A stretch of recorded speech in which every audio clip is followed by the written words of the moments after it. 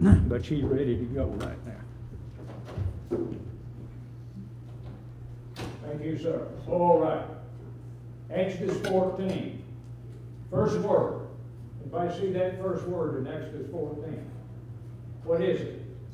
And. That means that this is a continuation chapter. Again, when you study the Word of God, where chapter divisions and verse divisions are, does not mean that God is done with the subject. So a lot of people, they just take one at a time and just cut everything else off. What you do, you lose your context. If you're not careful, make sure that's on you, you will get out of your context. When you pull a verse out of its context, then it can become a pretext at that point in time. So what we have to do is interpret then. So when he got that in, and I, we'll just read verse one, and all aren't you glad they were in one accord? Sometimes you can be in one accord and wrong accord, all right? Somebody said that was the first mention of an automobile uh, in the Bible. They were all in one accord in the New Testament as a Honda Accord, so they were in one accord, but in the wrong way. Now, look what he said. All the congregation lifted up their voice and started, oh, boy, that's the murmuringest, complainingest outfit that ever was, and God loved them. Man, I, I go back to the Corinthian church, and I'll, pro- I'll probably deal with that this morning. I've got two or three things buzzing up here, and I'm not sure which direction I'm going to go this morning. Uh, but at the same time, boy, a bunch of gripers, complainers, and the people wept that night. Oh, they went home and they just cried. Isn't that a blessing? Went home and just murmured and complained and cried about what? About what took place in the preceding chapter. God brought them up there, told them to pick out spies, send the spies in. Friend, they came back out. Oh, but they had one cluster of grapes on a pole between two men. That means one man couldn't carry them. Most men can carry 150, 200 pound loads.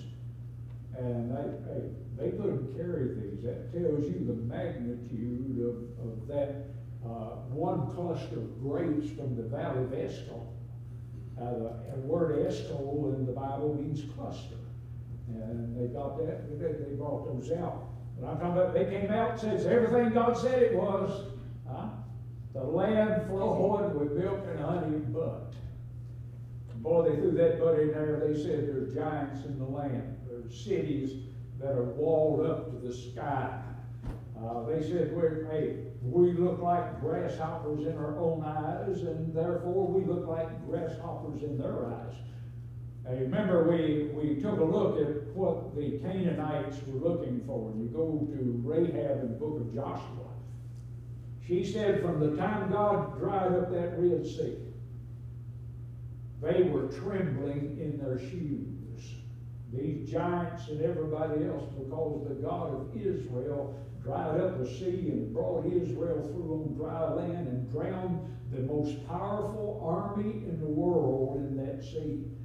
God just took care of them, no big deal with God, and boy, they were trembling. So what they did, they saw themselves as grasshoppers, but the giants saw them as giants because they had a big God. So what they did was they just fell apart, all right? So what they did all that night, they just sat around, talked about the giants and the big cities and all that. You know, old Caleb and Joshua, Caleb told them, hey, we go in and take it. It belonged to us. We can take that thing. Hey, we'll, we'll go in. God said He'd give it to us. If God said we can have it, then we can have it. So they began to cry and weep. Now, notice in verse number 2 of chapter 14, and all the children of Israel, again, they're in, a, all the congregation, all, if they are in one accord, they're, they're, they're all on the same page. They're just in the wrong book. But they said they murmured one against Moses and against Aaron. Now, they didn't say anything about God. What they did was they took out their fear on somebody that was human. I've often told people you let you keep people's sin between them and God. If it, if, if it becomes, if you want to argue with them, then it becomes between you and them, and they can hold where they stand and be completely out of the Word of God. But if you make them argue with God, you don't argue with God. Scripture is not arguable. It is authoritative, all right? So what happened was, they took it out on Moses. Moses caught a lot of flack. Uh, Moses was a good man of God. Moses had taken care of them. Uh, Moses had fed them. He put up with their bad manners. But they murmured against Moses and against Aaron, and the whole congregation said unto them, Now here's what they said, Would God that we had died in the land of Egypt. Would God he would have allowed them to. Boy, God's graciousness, he brought them out. he heard the cry by reason of their taskmasters. Go over to the book of Exodus, you find that God, when he called Moses up to the burning bush, he said, I heard your cries. Crying out to God for deliverance, and God delivered them. And these very people right here saw what God did in Egypt. They saw what God did in the Red Sea. They saw what God did with the manna, with the quail, and with everything else. They've seen the power of God. And yet they took the voice of man over God. You've got to be careful with what you listen to and who you listen to. If anybody thinks they're smarter than the Bible, then you turn them off. They're Bible correctors, just turn them off. Just flip that switch, do whatever you need to do, just flip that thing off. Why? Because when man says one thing and God says the other one, we know that God said that every man be a liar. Let God be true, but every man a liar. Now, what's he talking about? If, if they say something against the true God, they're liars. So what they did were they were listening to the liars. Who were the liars? The liars were these ten spies that came back, and they said, "There's no way we can take that." And Caleb said, "Hey, we got this thing. All right, that's just, just take this thing. We'll march in there. We'll whoop everybody. We'll take over, and we got our land flowing with milk and honey." They said, Would God we died uh, in the land of Egypt, or would God we died in this wilderness? Uh oh. They're going to get their wish. Would to God we died in this wilderness. When God gets done with them, everyone except these that were under the age of not just uh, age-wise accountability, but uh, these that had nothing to do with this, all right, their children and all them, they would grow up and be able to go in. Uh, we find that Joshua and Caleb would get to go in. So you've got those two plus all of these, but they, they did the same thing Israel did when Israel, uh, talking about Christ, said, Let his blood be upon us and our children. That blood's still on Israel. Even though it's God's beloved nation today, they are blinded when it comes to the New Testament and the gospel of Jesus Christ. There's a veil over their hearts, and they prayed that judgment down upon themselves for 2,000 years. They've had to live with it. Now, notice what they said Would to God we had died in the wilderness. Verse 3 And wherefore hath the Lord brought us unto this land? Why did God bring us here? Well, you wanted out of Egypt. Isn't that simple? Huh? It's asking God to deliver them. Their father was Abraham. God gave that land to Abraham. He told him every every place the sole of your foot has touched. You say, where's that from? That's when he crossed the Euphrates River to the north out of Haran. When he came there and left there, after after a certain length of time, he brought them out, and when they came across that Euphrates all the way down, talking about down to the Dead Sea, he also they also went into the Negev desert down below it. He also got to go all the way to the Nile River. All of that land belongs to them. That'll be Israel's homeland. So he said, Why'd you bring us to this land? You know, it's interesting. I find that as soon as God brought them out of uh, where they were, out of the city of their bondage, hey, that, that land where they were crossing was going to belong to them anyway. But he said, to fall by the sword, that our wives and our children should be a prey. Were it not better for us to return to Egypt? They said, we're just gonna go back where we came from. You got a lot of people that get saved that try to go back where you come from. Let me tell you, that's a dangerous thing, all right? That old saying, God will always give you what you want, it'll always cost you what you've got. There'll be a price tag, God said, all right, you wanna go, you wanna die in the wilderness? We're gonna let you die in the wilderness. We're gonna take you right back in there and you're just gonna wander around and around and around in there for forty years until that generation is dead. So they said in verse four, they said one to another, let's make a captain. What Israel did once again. When God delivered them, uh, Samuel was the high priest, and God delivered them, and they set up a stone and called it Ebenezer. That word Ebenezer means hitherto the Lord hath helped us. So they gave God the glory for the victory, and in the next breath they said, Now we want a king like the other people. Samuel got hot about that. God, hey, they were under what's called a theocracy. That's a rule by God, and that's the perfect place for you to be under a theocracy. So what happened was they said, just make us a king and we'll be satisfied. And old Samuel came to God and complained a little bit. God said, Samuel, he said, they not rejected you. He said, they rejected me. When they said, let us make a captain, God had set Moses in place. He had set the Aaronic priesthood in place. He'd set the Levitical priesthood in place.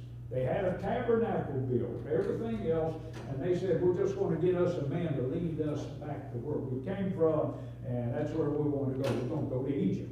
Verse 5, then Moses and Aaron fell on their faces before all the assembly of the congregation and of the children of Israel. Boy, God's men just fell on their face. I mean, boy, you're talking about struck down with what they were saying.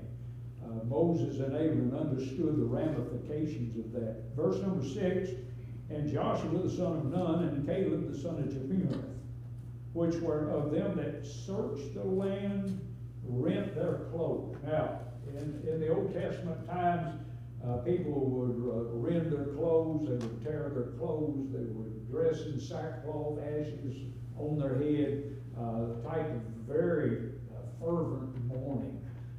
Uh, these two men mourned because they knew what God said. God gave it to them. They knew they could take it, but they were in a vast minority. Only three people rejected, uh, or four or so, but, uh, you take, I'm sure Moses and Aaron did also. But if you're talking about millions of people are against you, you're going to be by yourself. Uh, so they fell on their face in, in front of the and he said in verse 7, They spake unto all the company of the children of Israel, saying, The land which we passed through to search it is an exceeding good land. Oh, what a land. I, I, I like to watch uh, different things about Israel. If you look at it, that's one of the most beautiful lands in the world over there. Just absolutely gorgeous land. Uh, tremendous land. And they said it's an exceeding uh, good land. Verse number eight, and if the Lord delight in us, what's he going to delight in? He's not delighting in what they're doing. God taketh no pleasure in the death of the wicked. God doesn't take pleasure in that, but he also does not delight in the foolishness of men. When men think they're smarter than God, or they can preempt what God said and do something their way and make that thing work out, It doesn't please God. A lot of people do that. Uh, they hear what the Bible says, you can preach it, you can teach it, or whatever, and they're going to do their own thing anyway. They just say, our, our way's better than your way, Lord. I know what you said, but you know, you'll get over that, I'm sure. Uh, we're just going to do it our way. I call it Frank Sinatra syndrome, and he did it uh, my way, all right? So they, they said, hey, if the Lord delight in us, then he'll bring us into this land and give it us a land which floweth with milk and honey. He says all we got to do is get right with God and go in, and God is going to give it to us. Now we're going to have to fight for it. They understood that, and they were full well ready to do that. I mean, he boy, he had an army of six hundred and something thousand men. uh, had a, had a mighty army and God on their side, and he said, God give it to us, it flowed with milk and honey. Verse nine, only rebel not ye against the Lord, neither fear ye the people of the land. One, don't rebel against God. Then the Bible said we're not to fear what men can do to us. He said, if you're going to fear somebody, fear God. He said, man can kill your body, but God can kill body and soul in hell. God can do uh, abundantly above that. First thing he said was, you need to fear God. If you don't fear God, and I believe the root of the problem in our land and has been for many years is a lack of fear of God. People no longer fear God. Or they say, I believe in God. But they have no fear of God. Uh, fear of God is what caused one thief to be saved and one to remain lost uh, on that cross. And that thief that got saved, he looked over at the other one and he said, Dost thou not fear God? He asked you a question. Do you fear God? If you don't fear God, one, you're not going to get saved start with. I think a lot of people today have just got a little bit of religion tied up. They don't have anything that has been a, a life altering event that takes place called salvation. But he said in here, he said, hey, rebel not against the Lord, then neither fear ye the people of the land. Giants. We talked about Og last week. The only man in the Bible that it gives the size of his bed. His bed was 13 feet long and 6 feet wide. They built the bed for the man. They didn't have the double, the king size, the triple size, and all this stuff. You know, you take years ago, people had smaller beds. Uh, I'm not a big king size that we go. Barbara likes to get a king size suite, and we do that. And I don't get to see her for three days. I can't find it. All right. And I, I look over there. I look for the biggest pile of covers on the bed, and she's normally underneath there someplace. I don't, I don't like it. Queen size is good. I mean, you got enough room to turn around and with, but you can put your foot over there and you make sure you know they're there and living and breathing and still warm and, and all that type of stuff. They made the bed for the people. So Og was probably about 12 feet tall and 5 feet wide. I'm talking about, you, you, you think your grandyoungins are big. I mean, that, I saw a picture of Stephen with his wife, you know, Stephen's short, you know, and, uh, she come about to right here on Stephen standing there, he, he looked like Og standing beside her.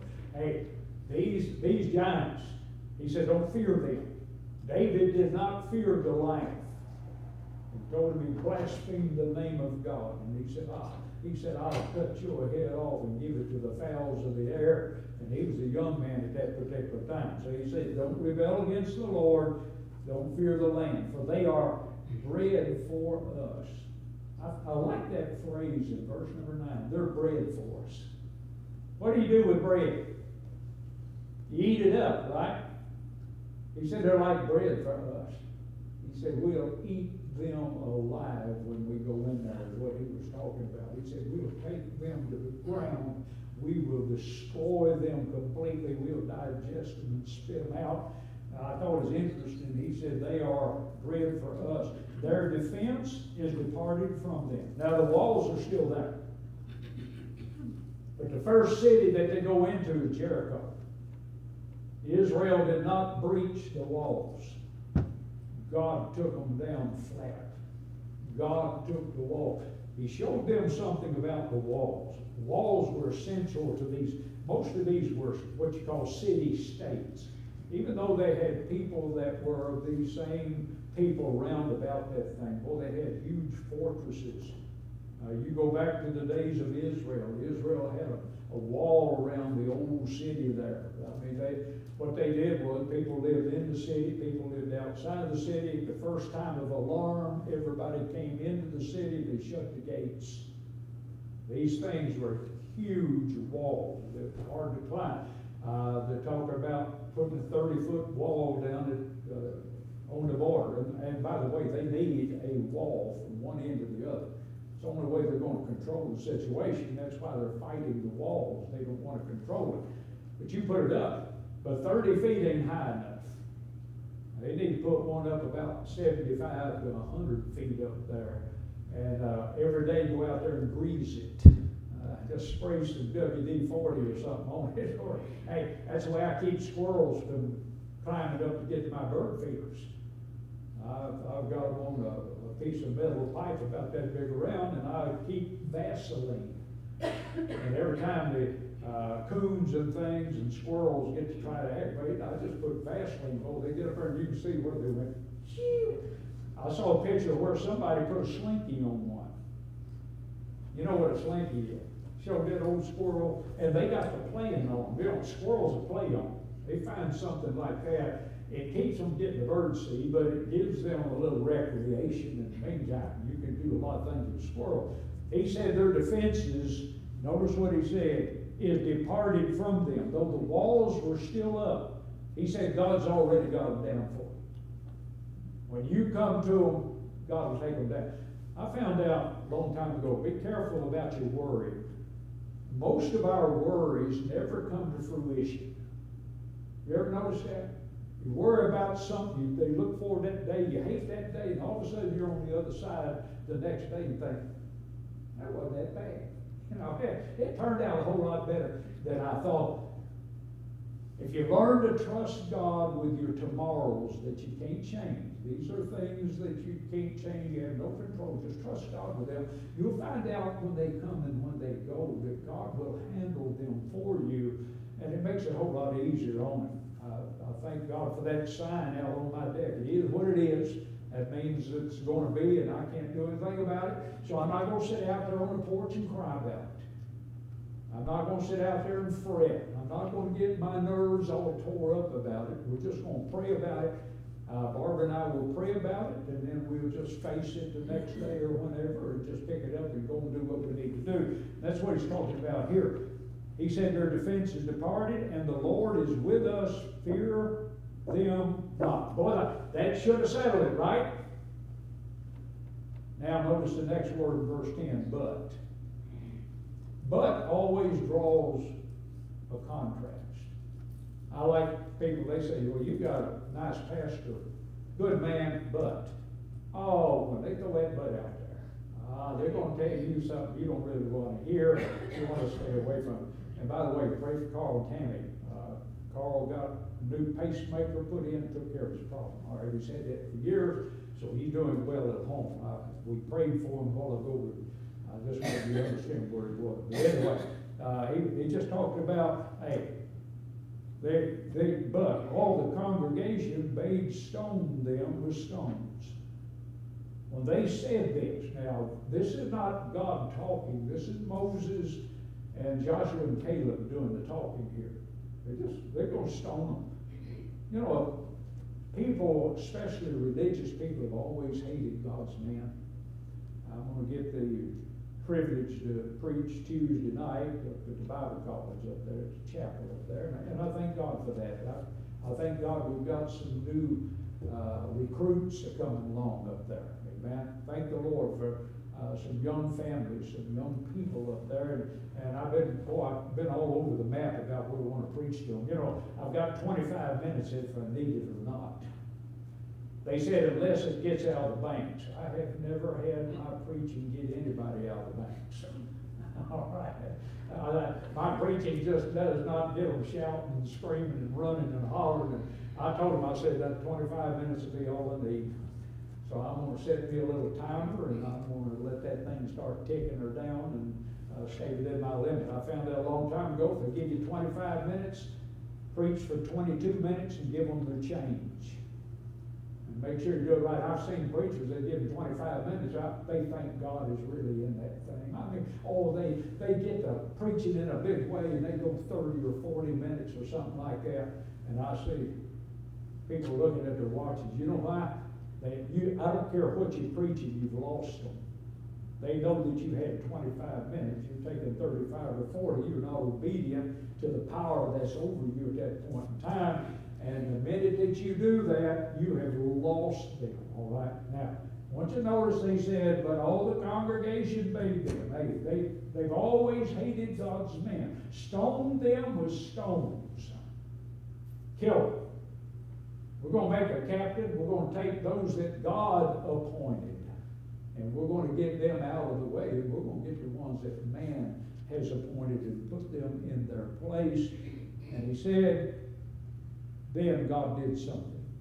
The word and in verse ten, and the glory of the Lord appeared in the tabernacle of the congregation before all the children of Israel.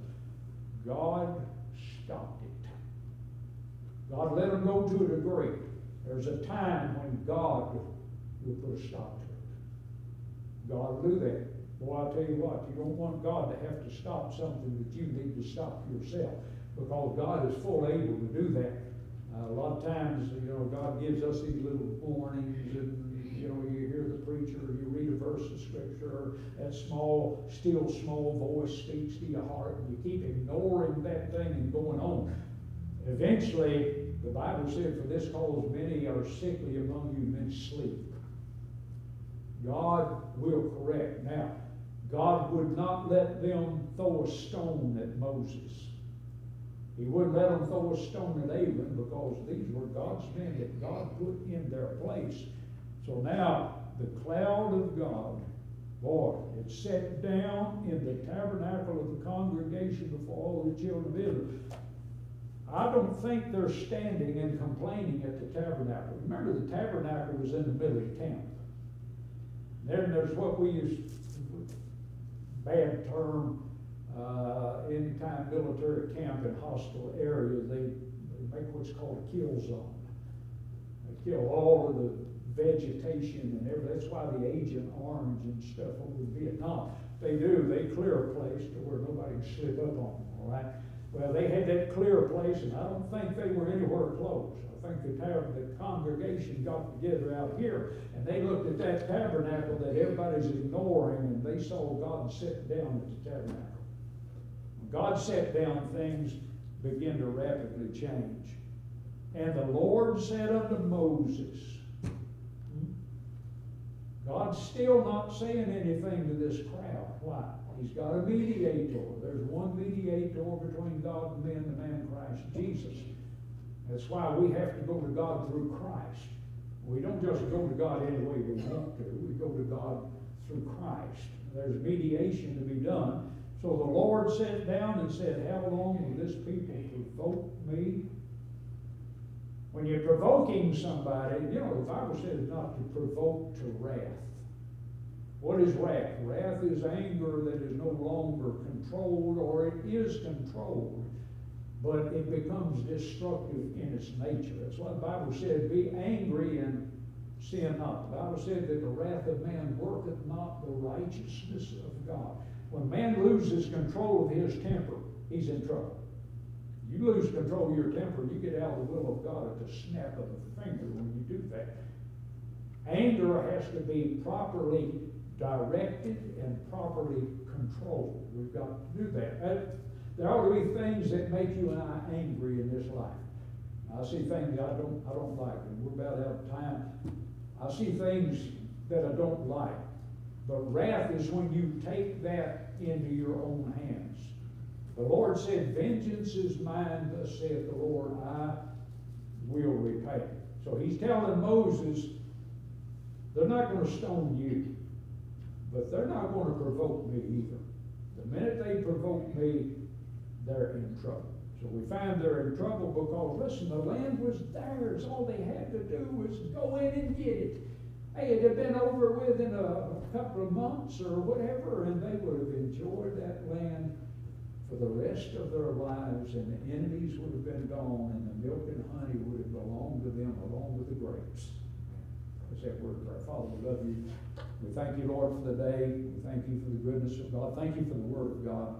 Lord, every word is important. That's why I do not believe we have a right to change one of them, leave one out, or add one to it.